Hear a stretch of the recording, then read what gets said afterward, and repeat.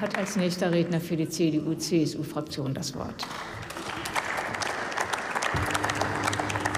Sehr geehrte Frau Präsidentin, meine sehr geehrten Damen und Herren, liebe Kolleginnen und Kollegen!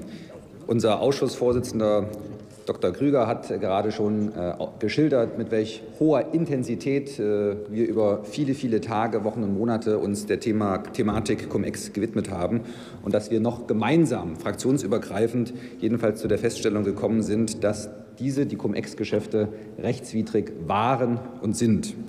Sicher ebenso einig waren wir uns noch darüber, dass einzelne kriminelle Marktteilnehmer, Banken und Berater organisiert zusammengearbeitet haben, um den Fiskus in die Irre zu führen. Bei der Frage allerdings, ob politisches oder fachliches Versagen dazu führte, dass das kriminelle Vorgehen einzelner Finanz Finanzmarktakteure lange Zeit unterschätzt oder unbeachtet blieb, gehen die Meinungen zwischen Koalition und Opposition nahezu schon naturgemäß auseinander hat man gerade bei Kollegen Pitterle festgestellt. Das ist auch nicht verwunderlich. Man kann schließlich nicht erwarten, dass die Opposition ihr schärfstes Schwert aus der Hand legt und dass man einen Untersuchungsausschuss völlig, völlig losgelöst vom parteipolitischen Kalkül seine Arbeit unaufgeregt im Stillen verrichten lässt, um dann am Ende heute in friedlicher Eintracht seine Ergebnisse zu präsentieren.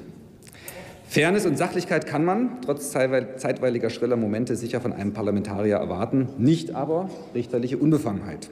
Es gilt offenkundig besonders in einem Wahljahr. So ist wohl auch zu verstehen, dass man versucht, mit haltlosen Schuldzuweisungen und dem Kolportieren von horrenden Steuerausfällen in Milliardenhöhe mit aller Macht Aufmerksamkeit zu generieren. Es gab in der Vergangenheit Untersuchungsausschüsse, in denen sich die Mitglieder um Einstimmigkeit bei allen Entscheidungen bemüht haben und der Presse gar gemeinsam abgestimmte Statements vorgelegt haben. Als wir im November 2015 mit der Ausschussarbeit begannen, schien es zunächst auch so für unseren Untersuchungsausschuss zu sein.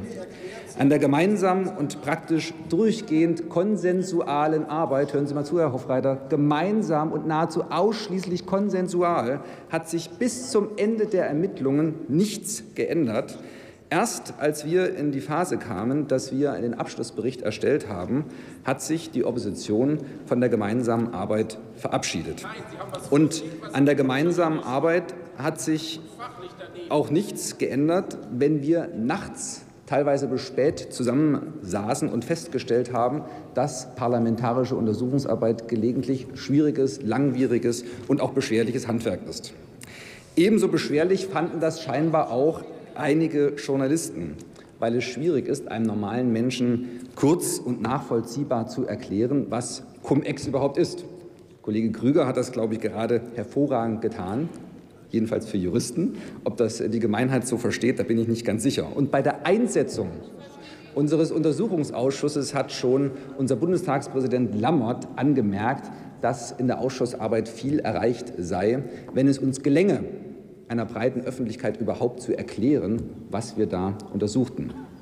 Nach meinem Eindruck ist es so, dass wir, wenn wir das zum Maßstab nehmen würden, nicht so sehr erfolgreich waren. Die Komplexität der Materie führte auch dazu, dass die Berichterstattung im Vergleich zu anderen Untersuchungsausschüssen eine geringere mediale Wirkung erzielte, als sich das mancher sicherlich erhofft hat. Ausnahmen wie beim Erscheinen des Zeugen Maschmeyer bestätigen diese Auffassung eher noch. Einigen ist es dann offensichtlich zu still geworden um den Ausschuss. Deshalb war man bei den, gerade bei den Grünen in den letzten Wochen eifrig bemüht, die Cum-Ex-Problematik zum medialen Großereignis zu machen, an dessen Ende jetzt ein riesiges Steuerloch stehen soll. Neben NSA, NSU, EDATI und VW ist man beim Cum-Ex-Untersuchungsausschuss endlich da, wo sich der Kollege Schick schon immer sehen wollte, als Chefankläger im angeblich größten Steuerskandal der Nachkriegsgeschichte. Aus diesem Grund hat es die Fraktion der Grünen, kommen wir noch dazu, hat es die Fraktion der Grünen wohl am Ende auch abgelehnt, nach der gemeinsamen, praktisch ausschließlich konsensualen Ermittlung auch einen gemeinsamen Bericht mit der Koalition diesem Haus vorzulegen. Denn hätte man sich womöglich mit Union und SPD auf ein gemeinsam vorgetragenes Ergebnis verständigt, wäre die überzogene Aufregung ja weniger glaubhaft gewesen. Die Ergebnisse unseres Ausschusses möchte ich daher noch mal kurz und in aller Sachlichkeit darstellen. Wie schon erwähnt, die Geschäfte waren und sind rechtswidrig. Die gesetzlichen Regeln waren klar. Schon jedem Laien erschließt sich sofort, dass man auf etwas einmal gezahltes, nämlich Kapitalertragssteuer, sich nicht mehrmals etwas zurückverlangen kann. Das war offenkundig so klar, auch für die Beteiligten, dass sie ihr Handeln mit extremem Aufwand verschleiert haben oder versucht haben zu verschleiern. Die Untersuchungen haben nämlich gezeigt, dass durch einen kleinen, aber lauten Kreis von Beratern, mit Professoren, mit Gefälligkeitsgutachten und von Steuerpflichtigen der Versuch unternommen wurde, Steuergesetze und entsprechende finanzgerichtliche Entscheidungen bewusst gegen deren Sinn auszulegen. Die zuständigen Behörden jedoch in Bund und Länder leisteten und leisten gute Arbeit. Sie konnten nämlich in zahlreichen Fällen verhindern, dass zu Unrecht beantragte Anrechnungen oder Erstattungen der Kapitalertragssteuer auch tatsächlich angerechnet oder ausgezahlt wurden. Außerdem ist es bereits gelungen, den Großteil der bereits angerechneten oder erstatteten Kapitalertragssteuern erfolgreich zurückzufordern.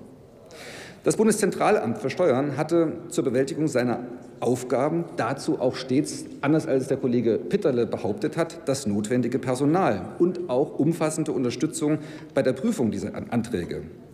Die zuständigen Mitarbeiter haben sich dabei erfreulicherweise auch nicht von einzelnen dreisten Steuerhinterziehungen einschüchtern lassen. Wir haben eher den Eindruck gemacht, dass die Beamten fachlich hochkompetent und engagiert ihrer Arbeit nachgegangen sind. Die Steuer- und Justizbehörden ermitteln aktuell umfassend bei den Cum-Ex-Geschäften und es bestehen gute Aussichten, unberechtigte Steuererstattungen mit Zinsen zurückzuerhalten sowie strafrechtliche Verurteilungen zu erwirken. Die tatsächliche Schadenshöhe, Herr Kollege Dr. Schick, durch Cum-Ex-Geschäfte dürfte insoweit nur einen Bruchteil der öffentlich, insbesondere auch von Ihnen, genannten Summen in Milliardenhöhe betragen. Ob tatsächlich ein Millionen- oder gar Milliardenschaden für den Fiskus entstanden ist, lässt sich heute überhaupt noch nicht seriös vortragen. Wer dies tut, lenkt mit Fantasiezahlen von der hervorragenden Aufklärungsarbeit unseres Ausschusses ab. Sie sind doch selber auch noch dran, vielleicht können Sie es dann erklären. Der Ausschuss konnte Ihre Zahlen nicht belegen, die auch häufig auf unseriöser Grundlage behauptet wurden. Der Ausschuss hat zudem der Sachverhaltsermittlung, hat neben der Sachverhaltsermittlung und der rechtlichen Einordnung den Vorwurf widerlegt, das Finanzministerium und das Bundeszentralamt für Steuern hätten die Fälle zu zögerlich aufgeklärt. Das Gegenteil ist der Fall. Als erstmals in erheblichem Umfang durch einen Whistleblower im März 2009 im BMF klar wurde, in erheblichem Umfang klar wurde, dass es ein Problem gibt, hat man drei Tage später, war noch ein Wochenende dazwischen, sofort eine Kommission eingesetzt. Und man hat wenig später, wenige Wochen später, das uns allen bekannte BMF-Schreiben vom 5. Mai 2009 auf den Weg gebracht, das vorsah, dass Steuerberater und Wirtschaftsprüfer bestätigen mussten, dass der Erwerb der Aktien im Sinne der Steuerbescheinigung in keinem wirtschaftlichen Zusammenhang mit Leerverkäufen getätigt wurde. 2010 fiel dann im BMF unter Finanzminister Wolfgang Schäuble die Entscheidung für eine umfassende Neuregelung des Besteuerungsverfahrens. Dabei wurde ein kompletter Systemwechsel vollzogen, der sowohl zunächst erdacht, praktisch für die Marktbeteiligten händelbar gestaltet und juristisch sauber auf den Weg gebracht werden musste. Nachdem, nach der Erstellung des Gesetzentwurfs durch das BMF im gleichen Jahr konnte dann der Bundestag das OGA IV-Umsetzungsgesetz im Jahr 2011 verabschieden. Die Bedingungen, die den Steuerbetrug mit zu Unrecht beantragten Anrechnungen oder Erstattungen der Kapitalertragssteuer erleichtert haben, wurden damit endgültig beseitigt. Das System des Kapitalertragssteuereinbehaltes und deren Abführung wurde nämlich zum 1. Januar 2012 auf das sogenannte Zahlstellenprinzip umgestellt. Hier also von einem Untätigsein der Verwaltung oder auch der Politik zu reden, ist schlicht unredlich und falsch. Weil offenkundig Ihnen, Herr Kollege Schick, im Laufe des Aus der Ausschussarbeit klar wurde, dass mit dem Thema Cum-Ex kein Blumentopf zu gewinnen ist äh, im Wahlkampf gegen die Regierung, haben Sie sich ja nach und nach mehr auf das Thema Cum-Cum versteift. Der Ausschuss ist dabei einvernehmlich Ihrem Wunsch entgegengekommen, auch diese Geschäfte zu untersuchen. Dort geht es ja um solche Geschäfte, wo ausländische Aktionäre ihre Papiere kurz vor dem Tag der Dividendenzahlung an deutsche Institute übertrugen. Grund war, dass sich inländische Kapitalmarktteilnehmer im Gegensatz zu den ausländischen ihre Kapitalertragssteuer erstatten oder anrechnen lassen konnten. Durch Cum-Cum-Gestaltungen ersparten also die Inländer Kapitalertragssteuer, die sie anteilig über Vertragsmodalitäten an den ausländischen Aktionär weitergaben. Alle profitierten, nur der Fiskus verlor. Dieses Phänomen habe ich übrigens schon im Rahmen meiner Steuervorlesung im Studium kennengelernt, damals noch bekannt unter dem Namen Dividendenstripping. Und äh, wer hat dafür gesorgt, dass letztendlich mit, dem, mit der Investmentsteuerreform 2016 Abhilfe geschafft wurde? Nicht die Grünen, auch nicht in ihrer Regierungszeit von, von 1998 bis 2005, schon gar nicht die Linke, sondern das Finanzministerium unter Wolfgang Schäuble. Noch einmal zu den Fantasiezahlen. Diese, wie schon einmal von mir ausgeführt, lenken ab von dem, was die tatsächlichen Thematiken sind.